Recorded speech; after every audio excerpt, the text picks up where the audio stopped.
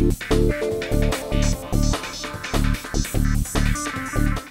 acho que sempre vai ter ó, pessoas duvidando de você, acho que sempre vai ter, independente do time que você vê ou não. Acho que a preocupação maior é trabalhar, fazer um, bom trabalho, primeiramente para mim, para o grupo, isso que, que, eu, que eu penso e no momento acho que é, que é o mais importante.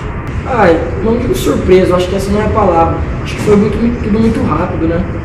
Acho que não, esperava, não vou, mentir pra você falar que eu esperava assim. Mas acho que pra mim foi bom. Lógico, é, chegar jogando é sempre bom, tá jogando é bom. Acho que assim eu vou ter uma oportunidade de pegar uma sequência e espero poder conseguir pegar essa sequência. É jogo difícil, como, como todo jogo vai ser. Libertadores não tem jogo fácil, todo mundo sabe, é, é muita competição e acho que, que não vamos encontrar jogo fácil pela frente. Vamos encarar como, um- como um jogo difícil, mais um, que a gente tem que, que fazer um bom jogo e se preocupar dar o melhor lá no Paraguai.